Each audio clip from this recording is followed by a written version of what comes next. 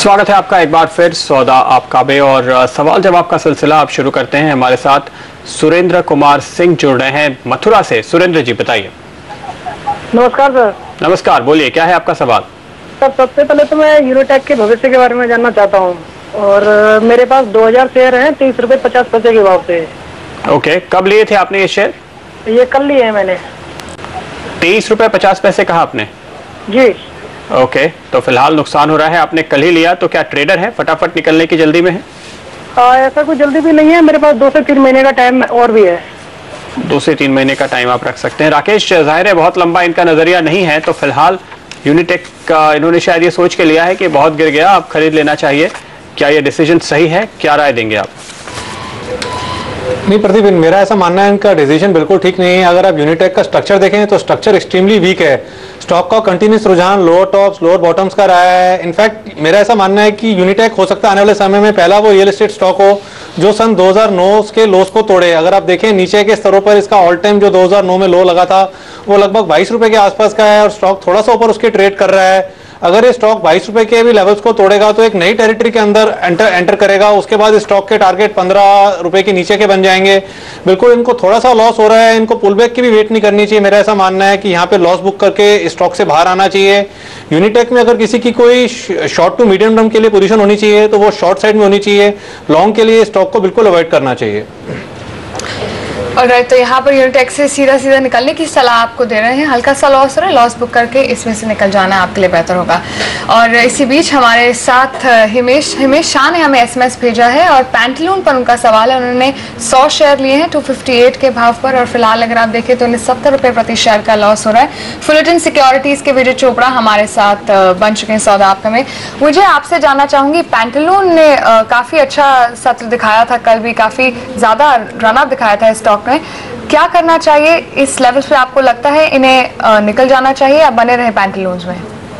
देखिए, जिस प्रकार की खबरें अभी बाज़ार में हैं regarding F D in retail तो नो डाउट रिटेल में आगे आने वाले समय में काफ़ी हरकत रहने वाली है। दूसरी चीज़, अगर पैंटलून रिटेल एज कंपनी को देखें तो हर साल इनका दो से ढाई मिलियन स्क्वायर फीट का जो एरिया है, ये रिटेल में बढ़ा रहे हैं। तो इनकी ग्रोथ काफ़ी कंसिस्टेंट रही है। टोटल स्पेस इनके पास करीब बाईस, तेईस मिलियन स्क्वायर फीट का है। और एवरेज ग्रोथ रेट इनकी पंद्रह परसेंट की रही है। और अच्छा एग्रेशन एग्रेसिव एक्सपेंशन प्लान हैं इस कंपनी के। और जिस प्रकार से ये नीचे गिरा है, मेरे हिसाब से इसमें एक medium to long term perspective से बने रहना चाहिए। और एक पोटेंशियल मल्टी बैगर है मगर शॉर्ट टर्म में थोड़ा पेन देखने को मिल सकता है क्योंकि रेंटल्स बहुत हाई हैं और जब तक ये रिटेल एफडीआई पे क्लैरिटी नहीं आती मुझे लगता है कुछ प्रेशर ज़रूर बना रहेगा काउंटर पे। तो अगर आपका लंबी अवधि का आ, का व्यू है तो इसमें आप बने रहें। और अगर आप शॉर्ट टर्म में शॉर्ट टर्म व्यू के, के इन्वेस्टर हैं तो मेरे हिसाब से जहाँ पे भी आपको रनअप मिलता है 210 के लगभग आप बाहर आ सकते हैं। ओके बने रहने की राय यहाँ पर पेंटलून में और हम आपको बताएँ मॉर्गन स्टैनली ने आज यहाँ पर चार रुपए के टारगेट के साथ एक रिपोर्ट भी जारी की है क्योंकि उन्हें लगता है कि एफटीआई पे जल्द ही अनुमति मिल जाएगी और उसके बाद शायद पेंटलून रिटेल जिसपे काफ़ी ज़्यादा कर्जे हैं, वो एक हिस्सेदारी बेच सकेगा अच्छी खासी किसी विदेशी निवेशक को और उसका फ़ायदा मिलेगा। अगर उस पर भरोसा करें तो काफ़ी ज़्यादा तेज़ी की गुंजाइश यहाँ पे हो सकती है लेकिन पहले भी एक बार सरकार ने निराश किया जब पूरी तैयारी के बाद अचानक से इसको बैक बर्नर पे डाल दिया गया था तो वो रिस्क ज़रूर है। अगला सवाल विवेक जैन का इंदौर से। विवेक जी पूछिए। इंदौर से विवेक जैन। हाँ जी साहब बताइए। हाँ साहब ये मेरे पास में एस कुमार के छप्पन रुपए के भाव के शेयर खरीदे हुए हैं। ओके। आ, अभी कम है उसके शेयर के भाव। 500 शेयर्स आपने लिए हैं और काफ़ी गिरावट हो गई, काफ़ी नुकसान हो रहा है आपको, करीबन उनतीस तीस रुपए का एक शेयर पे नुकसान हो रहा है। मिस्टर चोपड़ा, आप क्या राय देंगे? इनको आधा हो चुका है, इनका पैसा तो एस कुमार्स में और खासतौर पे पिछले दो एक सेशंस में बहुत ज़ोर से गिरावट आई है। देखिए अगर आप स्ट्रक्चरली देखें तो कंपनी बहुत अच्छी है। इसके 45 के करीब ग्लोबली वेल एस्टेब्लिश्ड ब्रांड्स हैं। और काफ़ी एक्सपेंशन के लिए इनके इनके एग्रेसिव टारगेट्स हैं। 160 करीब आउटलेट से खोलना चाहते हैं। इनके छह स्ट्रेटेजिक बिज़नेस यूनिट्स है। इसमें कंज्यूमर टेक्सटाइल्स लग्जरी टेक्सटाइल्स और वाटर सॉल्यूशंस और होम रिलेटेड प्रोडक्ट्स हैं। तो काफ़ी सारे इनके इनके स्ट्रेटेजिक बिज़नेस यूनिट्स हैं। तो एज अ कंपनी तो ये स्ट्रक्चरली वेल प्लेस है कि जब भी मार्केट्स में थोड़ी सी भी अ, तेज़ी देखने को मिलती है तो इस इस स्टॉक में हमें तेज़ी देखने को मिलेगी। तो स्ट्रक्चरली कंपनी में कोई प्रॉब्लम नहीं है, मगर जिस प्रकार से स्टॉक पे प्रेशर रहा है, वो ओवरऑल मार्केट सेंटीमेंट की वजह से भी है।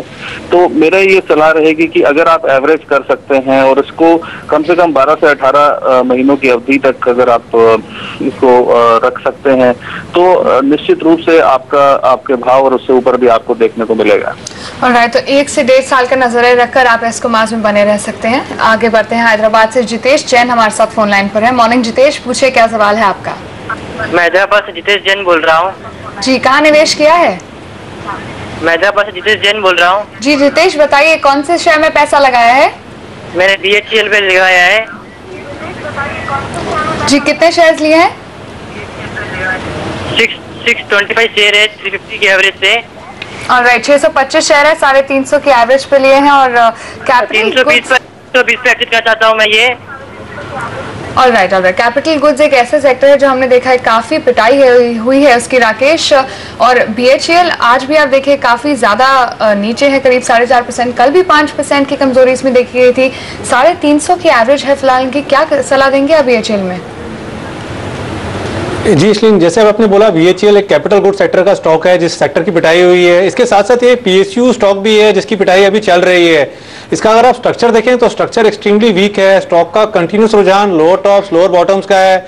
अगर आप देखें तो तीन रुपए के नीचे स्टॉक ने एक फ्रेश ब्रेकडाउन लिया। उसके बाद स्टॉक नीचे की तरफ़ चल रहा है।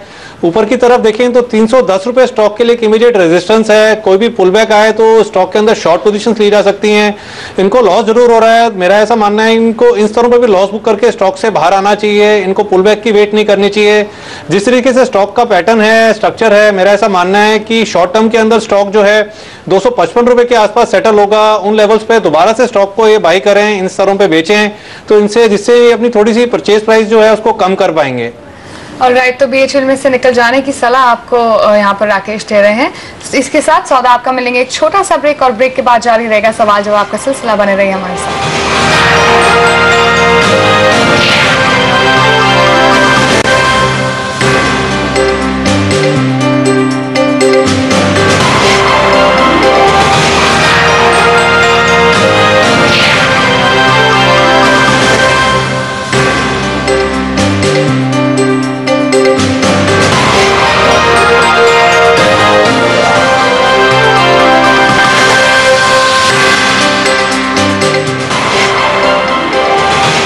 Welcome back. आप देख रहे हैं सौदा आपका और अब वक्त हो चला है उन सवालों को लेने का जो हमारे प्रिय दर्शकों ने हमें सौदा आपका के फेसबुक पेज पर पोस्ट किए हैं।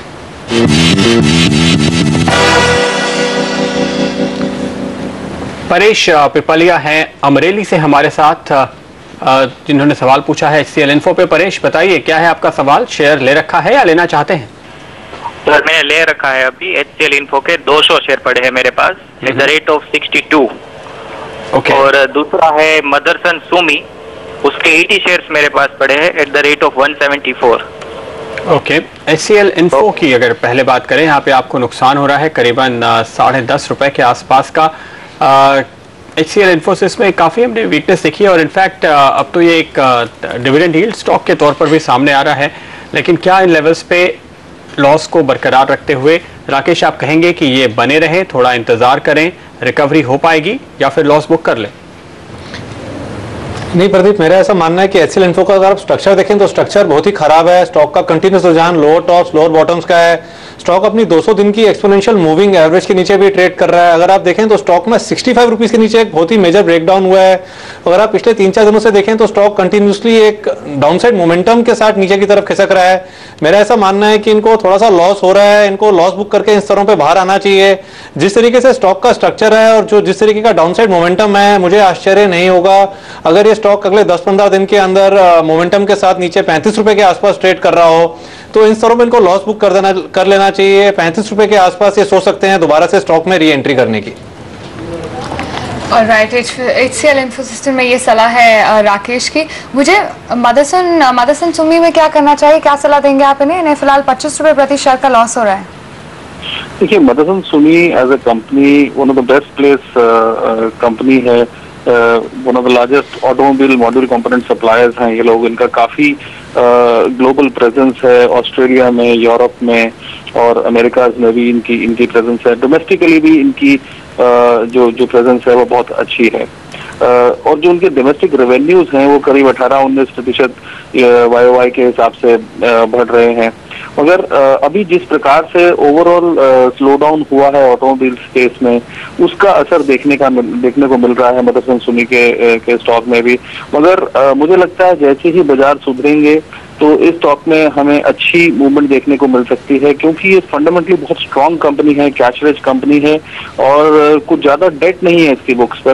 तो मुझे लगता है कि इसमें एक एक medium to long term perspective से बने रहें, और निश्चित रूप से आपके भाव आपको वापस मिलेंगे। राइट फंडामेंटली अच्छी है कैश रिच कंपनी इसलिए बने रहने की सलाह आपको मदर मने- मदरसन सुमी में विजय दे रहे हैं। आगे बढ़ते हैं, दिल्ली से विवेक सिंह हमारे साथ फ़ोन लाइन पर हैं। नमस्कार विवेक, पूछिए, क्या सवाल है आपका? नमस्कार मैडम। मेरे पास स्टरलाइट इंडिया है एक सौ सत्ताईस रूपए के भाव पे और मैंने उसके सौ शेयर ले रखे हैं। और मेरे पास वीडियोकॉम सॉल्यूशंस है दो सौ सत्तर के भाव पे उसके भी सौ शेयर हैं। मैं दोनों के बारे में शॉर्ट टर्म व्यू जानना चाहता हूँ और ईडियोकॉम एज अ कंपनी कैसे परफॉर्म करेगी इन फ्यूचर मैं उसमें और इन्वेस्ट करना चाहता हूँ ये जानना चाहता हूँ। राइट स्टरलाइट और एडिकॉम पहले स्टरलाइट की बात करते हैं। राकेश मेटल पैक काफ़ी वीक दिखा है पिछले कुछ दिनों से। स्टरलाइट में इन्हें फ़िलहाल बीस रुपए प्रति शेयर का लॉस हो रहा है। क्या सलाह देंगे आप? शॉर्ट टर्म पर्सपेक्टिव है इनका। देखिए, इसलिए स्टरलाइट का अगर आप स्ट्रक्चर देखें तो स्ट्रक्चर एकदम खराब है। स्टॉक का कंटिन्यूस रुझान लोअर टॉप्स लोअर बॉटम्स का है। स्टॉक अपनी सारी short term medium term averages के नीचे ट्रेड कर रहा है। मेरा ऐसा मानना है कि इनको बीस रुपए का लॉस इन स्तरों पे बुक करना चाहिए। ऊपर की तरफ़ देखें तो 120 122 एक मेजर रेजिस्टेंस है और शॉर्ट टर्म में मुझे ऐसा लगता नहीं है कि स्टॉक इन स्तरों के ऊपर ट्रेड करेगा। नीचे में अगर आप देखें तो स्टॉक का आने वाले समय में एक डाउनसाइड मोमेंटम बड़ा तेज़ी से आएगा। और हो सकता है आने वाले समय में पुल बैक भी बड़ी तेज़ी से ना आए और स्टॉक नब्बे रुपए के नीचे तक जाने का पोटेंशियल रखता है। तो मेरा ऐसा मानना है कि यहाँ पे लॉस बुक करके इन्हें अपनी पोजीशन से बाहर आना चाहिए। अगर इनका नज़रिया इमीडिएट शॉर्ट टर्म है तो। निकलने की राय स्टरलाइट में आ रही है। अ, लेकिन विजय एडुकॉम के बारे में आप क्या कॉल देंगे? हमारे दर्शक और खरीदना भी चाहते हैं। क्या ये सही डिसीज़न होगा? फ़िलहाल तो इन्हें करीब पिचासी रुपए का लॉस हो रहा है एक शेयर पे। नो डाउट जिस प्रकार का नेगेटिव सेंटिमेंट डेवलप हुआ इस स्टॉक में. Uh, एक was a time when the stock was darling of the market और जिस प्रकार का इसने रन अप दिखाया था मगर uh, काफ़ी समय से हम देख रहे हैं कि ये ये एक लेगार्ड है. Uh, मगर अगर आप एजुकेशन स्पेस को देखें और जिस प्रकार से एडुकॉम ग्रोथ कर रहा है कभी उसके पास करीब साठ एक ऑपरेशनल स्कूल्स हैं जो बढ़कर करीब ये छियासी से नब्बे लेके जाना चाहते हैं अगले एक से दो सालों में और जो कंपनी का प्लान है वो नए के ट्वेल्व स्कूल करके नए कॉन्सेप्ट स्कूल्स लेके आ रहे हैं। तो काफ़ी अच्छे एग्रेसिव प्लान्स हैं, मगर फ़िलहाल जिस प्रकार का प्रेशर है स्टॉक पे, और इन्वेस्टर जैसे कह रहे हैं, उनका शॉर्ट टर्म व्यू है, मेरे हिसाब से स्टॉक में प्रेशर रहेगा। अगर आप लेना चाहते हैं तो मेरे हिसाब से ये स्टॉक आपको एक सौ सत्तर के लेवल्स पे भी देखने को मिल सकता है। अगर वेट कर सकते हैं तो आप वेट करिए, मगर एक लंबी अवधि के लिए इंतज़ार करना पड़ेगा एडिकॉम्प में दोबारा वो लेवल्स देखने के लिए। लंबा इंतज़ार करना पड़ सकता है एरोकॉम्प में फ़िलहाल यानी तस्वीर बहुत बेहतर होती हुई फ़िलहाल नज़र नहीं आ रही। बने रहने की राय हालाँकि यहाँ पे ज़रूर आ रही है। जय किशन बजाज अहमदाबाद से इन्होंने सवाल पूछा है। जय किशन बताइए क्या है आपका सवाल? Hello sir I am having sixteen hundred sixteen hundred seventy five share of SpiceJet at the rate of twenty six rupees each and I am a long term investor and I want I need the advice कि मुझे क्या करना चाहिए अब? Okay छब्बीस रुपए की cost है आपकी तो फ़िलहाल आप नुकसान में हैं लंबी अवधि का नज़रिया लेकिन ये रखते हैं। मिस्टर चोपड़ा क्या आप कहेंगे कि आ, अच्छा डिसीज़न है बने रहें फ़िलहाल लॉस हो रहा है पाँच रुपए का तो फ़िक्र ना करें? देखिए आपको ये बात समझनी होगी कि एयरलाइन बिज़नेस में ग्लोबली कुछ बहुत ज़्यादा लोग नहीं है जिन्होंने पैसा बनाया है। तो प्रॉफिटेबिलिटी अटेन करना एयरलाइन बिज़नेस में बहुत बड़ा चैलेंज है। और जिस प्रकार से जो क्रूड की बढ़ोतरी की वजह से एटीएफ के ऊपर प्रेशर्स हैं, और जिस प्रकार से एयरपोर्ट टैक्सेस बढ़ रहे हैं रिसेंटली हमने देखा जीएमआर ने कैश एंड कैरी मोड में डाला किंगफिशर एयरलाइंस को। तो काफ़ी समय से हम देख रहे हैं पूरी की पूरा एयरलाइन बिज़नेस ही का, काफ़ी फाइनेंशियल स्ट्रेस में है। अगर हम स्पाइस जेट की बात करें तो इनका लो कॉस्ट मॉडल है जिसके अंदर मुझे लगता है कि काफ़ी अभी स्ट्रेस है और ये स्ट्रेस कुछ समय तक और रहेगा। तो बेहतर होगा कि अगर आप स्टॉक को एग्जिट कर पाए इस समय पर और कहीं आपको नीचे के स्तरों पे भी अगर एंट्री करने का मौका मिलता है तो वहाँ करें क्योंकि मुझे लगता है कुछ समय तक अभी पूरे के पूरे एयरलाइन स्पेस पे बहुत स्ट्रेस रहने वाला है। ओके okay, यानी दबाव बना रहेगा स्पाइस जेट में फ़िलहाल निकलने की राय बन रही है। विजय चोपड़ा की ओर से। और इसी के साथ लेंगे सौदा आपका में एक छोटा सा ब्रेक हमारे दोनों सलाहकार राकेश और जी हमारे साथ बने रहेंगे। जारी रहेगा सवाल जवाब का सिलसिला।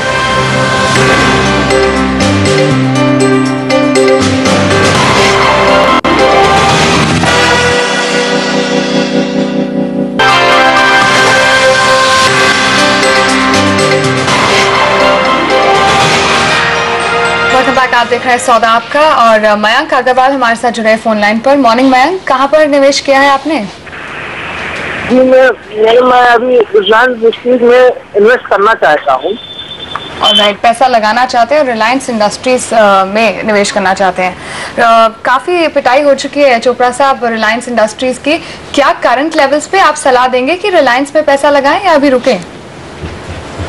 हालाँकि रिलायंस में जिस प्रकार से इस क्वार्टर के रिजल्ट्स आए थे और जिस प्रकार से इन्होंने करीब 16 प्रतिशत की नेट प्रॉफिट की ग्रोथ दिखाई थी और जिस प्रकार से कंपनी बाय दिसंबर क्वार्टर कह रहे हैं कि they are going to be debt free तो ये सारी काफ़ी सकारात्मक बातें हैं रिलायंस के लिए। मगर फिर भी जिस प्रकार से जो जो सेलिंग देखने को मिली है या जो लॉस ऑफ़ कॉन्फिडेंस देखने को मिला है काउंटर में due to the global turmoil and the and the problems in the market मेरे हिसाब से ये थोड़ा सा वेट करने का समय है। साढ़े सात सौ के स्तर भी हो सकता है देखने को मिले तो वो एक अच्छा लेवल होगा जहाँ पर एंट्री की जा सकती है। क्योंकि कंपनी काफ़ी कैश जनरेट कर रही है। करीब अठारह हज़ार करोड़ का कैश जनरेट हो रहा है। एफ़ आई ट्वेल्व के फ़र्स्ट क्वार्टर फ़र्स्ट हाफ़ में।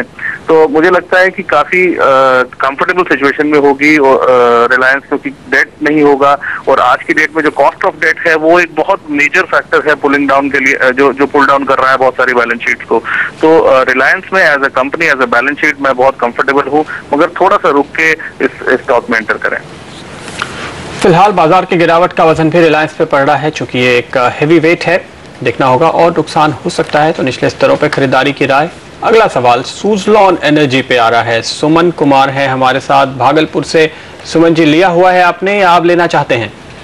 जी सर मैंने दो महीने पहले लिया है इकतालीस के भाव पे सात हज़ार शेयर है। तो इस सिचुएशन में मुझे होल्ड करने चाहिए या फिर जो है निकल जाने चाहिए घाटा से सत्रह रुपए का नुकसान हो चुका है और अब तो हमने देखा कि मैनेजमेंट ने ही यहाँ पर हिस्सेदारी बेची है, करीबन दो परसेंट के आसपास। हमने सत्ताईस रुपए के भाव पे तो उसके बाद अब ये चौबीस के भी नीचे फिसलता हुआ नज़र आ रहा है। चोपड़ा साहब, क्या राय देंगे आप सुसलॉन पे? इनको सत्रह रुपए का नुकसान हो रहा है। देखिए अभी भी अ, मेरे हिसाब से कंपनी में काफ़ी स्ट्रक्चरल डैमेज हो चुका है। जो डेट है कंपनी का जैसे मैंने रिलायंस के बारे में बोला कि डेट एक ऐसी चीज़ है the cost of debt is pulling down balance sheet तो काफ़ी वीक बैलेंस शीट है फ़िलहाल सुजलॉन की और कल मैनेजमेंट ने भी अपनी हिस्सेदारी ऑफलोड करी है। मेरे हिसाब से इसमें फर्दर वीकनेस देखने को मिलेगी। तो बेहतर होगा कि आपको जो मिलता है whatever you get off the table अभी आपको ले लेना चाहिए। और अगर आप एनर्जी में ही रहना चाहते हैं तो एनर्जी कंपनीज़ में थोड़ा समय लगता है प्रॉफिट वापस आने में। मगर सुजलॉन इस समय मेरे हिसाब से एक स्लिपरी काउंटर है तो इससे जितना जल्दी हो सके बाहर आए। और राइट तो सुजलॉन में से बाहर निकलने की सलाह ही आपको विजय चोपड़ा जी दे रहे हैं। दिल्ली से धनराज बंसल हमारे साथ हैं। मॉर्निंग धनराज कहाँ पर निवेश किया है आपने? मॉर्निंग मैंने एवरोन एजुकेशन में इन्वेस्ट किया है। 700 शेयर है मेरे पास 390 के आसपास के भाव के। और अभी इस वीक में इसमें काफ़ी डाउन आ रहा है। अभी शायद 305 310 के आसपास है।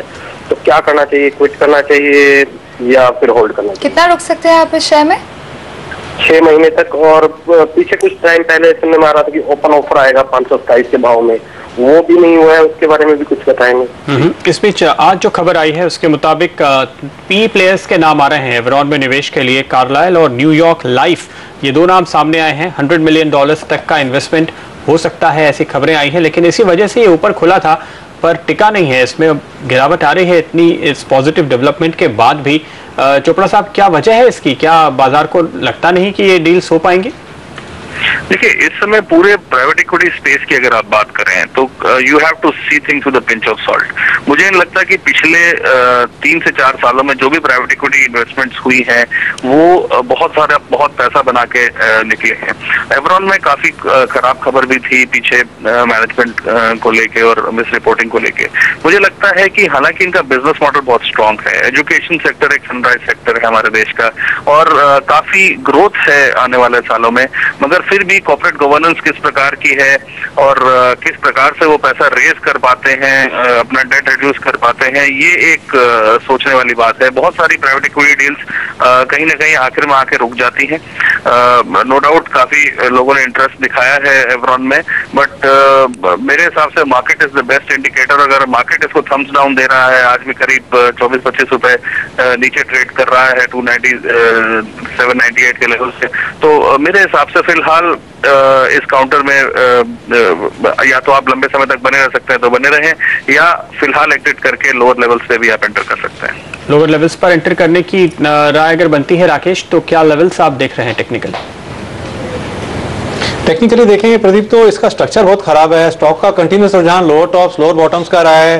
स्टॉक में ऊपर की तरफ़ देखें तो 315 320 एक मेजर रेजिस्टेंस है और चार्ट्स देख के ऐसा लगता नहीं है कि शॉर्ट टू मीडियम टर्म में स्टॉक 315 320 रुपए के ऊपर जाएगा। नीचे की तरफ़ देखें तो जिस तरीके का मोमेंटम है मुझे आश्चर्य नहीं होगा।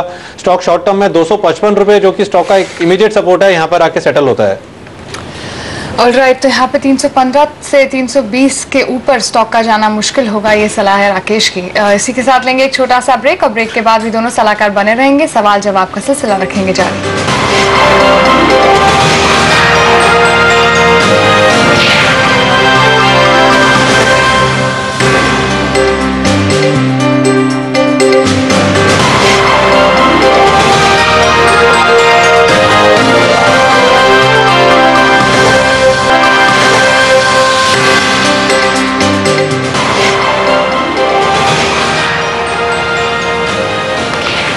स्वागत है आपका एक बार फिर। आप देख रहे हैं सौदा आपका। अगला सवाल रमेश पूछ रहे हैं हमारे साथ बेलगाम से। रमेश बताइए क्या है आपका सवाल? हाँ सर मैं जेडब्ल्यू एनर्जी बाई कर रहा हूँ। वन ट्वेंटी पे बाई कर रहा हूँ। जैसे ही बाई कर रहा हूँ वैसे नीचे आते जा रहा है। अभी तो फोर्टी थ्री फिफ्टी पे बाई किया थोड़ा और। और बाय एवरेज फाइव हंड्रेड हुआ अभी तक। और एवरेज ट्वेंटी नाइन हो जाएगा मेरा इतना। अभी क्या होल्ड करना है क्या लॉन्ग टर्म के रख देना है क्या? थोड़ा ऊपर आने को भेज देने का है आप कंटिन्यूस यहाँ पर एवरेजिंग कर रहे हैं। 500 शेयर्स आपने जमा कर लिए खरीदते खरीदते लेकिन अब भी आपकी कॉस्ट है 79 छत्तीस रुपए का नुकसान हो रहा है। कुछ ज़्यादा ही एवरेजिंग आपने लगता है कई बार की है फिर भी आप नुकसान की स्थिति में है। जेएसडब्ल्यू एनर्जी में जो खबर आ रही है कि अ, उनको रेट बढ़ाने की जो मांग थी वो इलेक्ट्रिसिटी रेगुलेटर ने महाराष्ट्र में उससे इनकार कर दिया है। तो उसका झटका आज के दिन लगा है। आप देख सकते हैं स्टॉक करीबन सात परसेंट नीचे फ़िलहाल ट्रेड करता हुआ। राकेश जेएसडब्ल्यू में क्या क्या कॉल देंगे आप इनको? कई बार एवरेजिंग कर चुके हैं। देखिए प्रदीप जी, अगर आप जेएसडब्ल्यू का स्ट्रक्चर देखें तो स्ट्रक्चर एक्सट्रीमली वीक है। स्टॉक का कंटिन्यूस रुझान लोअर टॉप्स लोअर बॉटम्स का है। जब इस स्टॉक का आईपीओ आया था, जब लिस्टिंग हुई थी, उस समय भी बहुत से बड़े अच्छे लोगों का मानना था फंडामेंटल पे कि स्टॉक को बिल्कुल नहीं खरीदना चाहिए। लेकिन उस समय स्टॉक थोड़ा ऊपर गया था। उसके बाद से हम देखें तो कंटिन्यूसली स्टॉक नए लोज लगा रहा है। मेरा ऐसा मानना है कि इनको बिल्कुल एवरेजिंग नहीं करनी चाहिए स्टॉक के अंदर। ऊपर की तरफ़ देखें तो फिफ्टी रुपीज़ स्टॉक के लिए कब एक मेजर रेजिस्टेंस बन चुका है। और ऐसा लगता नहीं है कि अगले छह सात महीने में स्टॉक इन स्तरों के ऊपर जा पाएगा। अगर कोई भी रैली आए तो थोड़ा दम रखें और लॉस बुक करके स्टॉक से बाहर आएँ और किसी अच्छे स्टॉक में निवेश करें। और राइट जी एस अभी एनर्जी में से निकलने की सलाह आपको दे रहे हैं यहाँ पर राकेश। आगे बढ़ते हैं सूरत से हमारे साथ फ़ोन लाइन पर है उमेश पटेल। मॉर्निंग उमेश कहाँ पर निवेश किया है आपने? हेलो जी उमेश। हेलो जी कहाँ निवेश किया है उमेश? ओ रिलायंस इंफ्रा और राइट रिलायंस इंफ्रा के बीच शेयर लिए हैं 1250 के भाव पर और काफ़ी नुकसान फ़िलहाल झेल रहे हैं यहाँ पर ये। मुझे आज अच्छी खबर आई है कि अपना ईसीबी जो है इन्होंने रीपे कर दिया रिलायंस इंफ्रा ने। उसके बावजूद भी शेयर की पिटाई हो रही है, करीब ढाई परसेंट नीचे है। क्या कहेंगे आप रिलायंस इंफ्रा में आठ सौ से ऊपर का फ़िलहाल प्रतिशत लॉस हो रहा है? देखिए, फ़िलहाल मैं यही कहूँगा कि जिस तरह से रिलायंस इंफ्रा में गिरावट देखने को मिली है नो डाउट स्टॉक में बहुत ज़्यादा वीकनेस है कंपनी में वीकनेस है। मगर अगर ये इस लेवल्स पे एवरेज कर सकते हैं अ, क्योंकि तीन के करीब का इसका 52 वीक लो रहा है। तो कहीं 400 या 390 के करीब अगर इनको भाव देखने को मिलता है बाज़ार की गिरावट में तो वहाँ पर एवरेज करें। और रैलीज में बाहर निकले क्योंकि मुझे नहीं लगता फ़िलहाल कुछ समय तक 1200 का भाव देखने को मिलेगा। तो बेहतर होगा कि एवरेज करके रैलीज में बाहर आए। और तीन सौ नब्बे या चार सौ के आसपास एवरेज कर सकते हैं और जितना भी अगर आपको कोई भी रैली दिखती है तो उसमें सेल करने की रणनीति आपको अपनानी चाहिए। यही सलाह है मुझे की और अब वक्त आ गया विदा लेने का। अपने दोनों सलाहकारों से। राकेश जाने से पहले कोई डिस्क्लोजर्स आपकी ओर से? यशलिन जिस भी स्टॉक से मैंने बात करी है। किसी मेरा कोई निजी निवेश नहीं है बट मेरे अपने क्लाइंट्स को भी यही राय है कि मार्केट में निवेश बिल्कुल नहीं करना चाहिए। इस समय मार्केट में किसी की कोई पोजीशन होनी चाहिए तो वो शॉर्ट साइड में होनी चाहिए। राइट मुझे आपकी तरफ़ से कोई डिस्क्लोजर्स जिन भी स्टॉक्स के बारे में हमने बातचीत करी है मेरी कोई पर्सनल पोजिशन नहीं है क्लाइंट्स की अवश्य हो सकती है। जी राकेश और मुझे शुक्रिया आज सौदा आपका में हमारे साथ जुड़ने के लिए। और अब नज़र डालते हैं स्टॉक 2020 के अब तक के रिटर्न्स पर। Why?